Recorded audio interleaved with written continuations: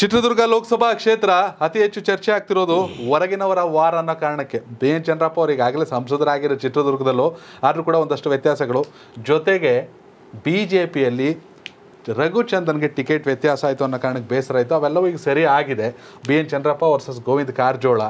But ಕಾಂಗ್ರೆಸ್ನ ಏಳು ಜನ ಶಾಸಕರು ಬಿಜೆಪಿಗೆ ಒಬ್ರೆ ಒಳಲ್ಕೆರೆ ಒಬ್ಬರೇ ಹೊಳಲ್ಕೆರೆ ಜೆ ಬಿಜೆಪಿ ಮೈತ್ರಿ ಆಗಿದ್ರು ಕೂಡ ಕಾಂಗ್ರೆಸ್ ಕಳೆದ ಎಂ ಎಲ್ ಎ ಚುನಾವಣೆಯಲ್ಲಿ ಏನ್ ಗಳಿಸಿದ್ರು ಮತ್ತೆ ಈಗ ಪೂರ್ಣಿಮಾ ಶ್ರೀನಿವಾಸ್ ಕೂಡ ಕೂಡ ಕಾಂಗ್ರೆಸ್ ಸೇರ್ಕೊಂಡಿದ್ದಾರೆ ಬಿಜೆಪಿ ಬಿಟ್ಟು.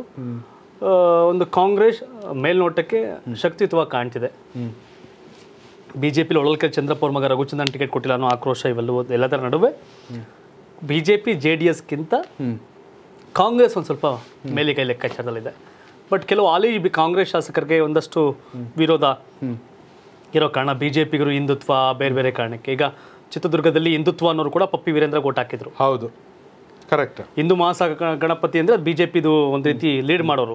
ಬಟ್ ಆದರೆ ಅವರೆಲ್ಲ ಪಪ್ಪಿ ಅವ್ರಿಗೆ ನೆಕ್ಸ್ಟ್ ಲೆವೆಲ್ ಸಪೋರ್ಟ್ ಮಾಡಿದ್ರು. ಎಂ ಎಲ್ ಎ ನಾವೆಲ್ಲ ಕೆ ಸಿ ವೀರೇಂದ್ರ ಅವ್ರಿಗೆ ಓಟ್ ಮಾಡಿದೀವಿ ಎಂ ಪಿ ಬಂದಾಗ ಬಿಜೆಪಿ ಜೆ ಪಿಗೆ ಓಟ್ ಮಾಡ್ತೀವಿ ಅನ್ನೋ ಮನಸ್ಥಿತಿ ದುರ್ಗಾ ಕರೆಕ್ಟ್ ಇದರಲ್ಲಿದೆ. ಯಾಕಂದ್ರೆ ನಮಗೆ ವೀರೇಂದ್ರ ಬೇಕಾಗಿತ್ತು ಕ ಪಪ್ಪಿ ಅವರು ವೋಟ್ ಮಾಡಿದ್ವಿ. ಬಟ್ ಲೋಕಸಭೆ ಅಂದಾಗ ಅದು ಬಿಜೆಪಿ ಜೆ ಪಿ ಮೋದಿ ಅನ್ನೋ ಒಂದು ಮೈಂಡ್ ಸೆಟ್ಟು ಆ ಭಾಗ ಇದು. ಸೊ ಹಾಗಾಗಿ ಆ ಥರದ ರಾಜಕಾರಣ ಕೂಡ ಆ ಜಿಲ್ಲೆಯಲ್ಲಿದೆ. ಜೊತೆಗೆ ಹೈಯಿಂದ ಓಟ್ ಜಾಸ್ತಿ ಇರ್ತಕ್ಕಂಥ ಜಿಲ್ಲೆ ಅದು.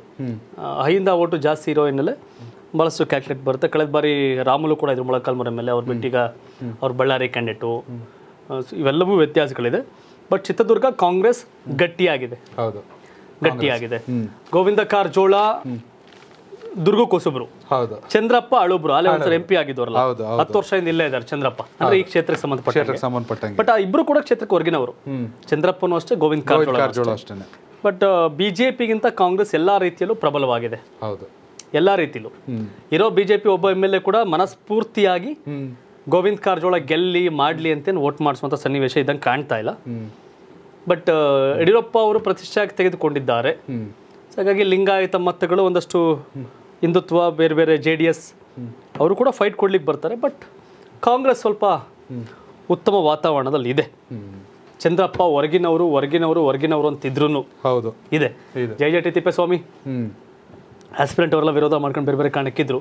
ಆರ್ ಬಿ ತಿಮ್ಮಾಪುರ ಮಗ ವಿನಯ್ ತಿಮ್ಮಾಪುರ ಕೂಡ ಆಸ್ಪಿರೆಂಟ್ ಆಗಿದ್ರು. ಇದೆ. ಬಟ್ ಗೋವಿಂದ ಕಾರಜೋಳ ಬಿಜೆಪಿಗಿಂತ ಕಾಂಗ್ರೆಸ್ನ ಚಂದ್ರಪ್ಪ ಮುನ್ನಡೆ ಸುಧಾರಿಸಿದ್ದಾರೆ ಈಗ. ಸೊ ಸುಧಾರಿಸಿದ್ದಾರೆ ಲೈಕ್ ಟ್ರೆಂಡ್ ಲೆಕ್ಕಾಚಾರ ಬಲ ಬಲ ಯಾರ್ದು ಅಂದಾಗ ಏಳ್ ಶಾಸಕರು ಸುಧಾಕರ್ ಮಂತ್ರಿ ಇವೆಲ್ಲವೂ ಕೂಡ ಅಲ್ಲಿದೆ. ಎಸ್ ವೀಕ್ಷಕರ ನಿಮ್ಮ ಪ್ರಕಾರ ಚಿತ್ರದುರ್ಗದ ಸಂಸದರು ಯಾರಾಗಬೇಕು? ಕಾಂಗ್ರೆಸ್ಸಿಂದ ಬಿ ಎನ್ ಚಂದ್ರಪ್ಪ ಅವರ ಬಿಜೆಪಿಯಿಂದ ಗೋವಿಂದ ಕಾರಜೋಳ ಅವರ ಕಾಮೆಂಟ್ ಮೂಲಕ ತಿಳಿಸಿ ಹಾಗೆ ಯಾರು ಪ್ರಧಾನಿ ಆಗಬೇಕು? ನರೇಂದ್ರ ಮೋದಿ ಅವರ ರಾಹುಲ್ ಗಾಂಧಿನ. ಕಾಮೆಂಟ್ ಮಾಡೋದನ್ನು ಮರಿಬೇಡಿ. ಧನ್ಯವಾದಗಳು. ಕರ್ನಾಟಕ ಟಿವಿ ಇದು ಕನ್ನಡಿಗರ ಧ್ವನಿ. ಜನ ಪ್ರತಿದಿನ ಟೈಮ್ ಸರಿಯಾಗಿ ಊಟ ಮಾಡ್ತಾರೋ ಬಿಡ್ತಾರೋ. ಆದರೆ ಪೊಲಿಟಿಕಲ್ ಟ್ರೆಂಡ್ ಏನಿದೆ ಅಂತ ಪ್ರತಿದಿನ ಪ್ರತಿ ಕ್ಷಣ ಕಾಯ್ತಿರ್ತಾರೆ. ಕರ್ನಾಟಕದ ಆಕಾರದಲ್ಲಿ ಯಾವ ಅಭ್ಯರ್ಥಿ ಅಬ್ಬರಿಸಿದ್ರು, ಮತ್ಯಾವ ಅಭ್ಯರ್ಥಿ ತತ್ತರಿಸಿದ್ರು ಅಂತ ನೋಡೋಕೆ ಕಾತರದಿಂದ ಕಾಯ್ತಿರ್ತಾರೆ. ಇಪ್ಪತ್ತೆಂಟು ಕ್ಷೇತ್ರಗಳ ಪ್ರತಿದಿನದ ಪಬ್ಲಿಕ್ ಪಲ್ಸ್ ಏನು, ಪ್ರಚಾರದಲ್ಲಿ ಯಾರ ಮುಂದೆ, ಯಾರ ಹಿಂದೆ, ಎಲ್ಲ ಮಾಹಿತಿಯನ್ನ ನಾವು ಕೊಡ್ತೇವೆ.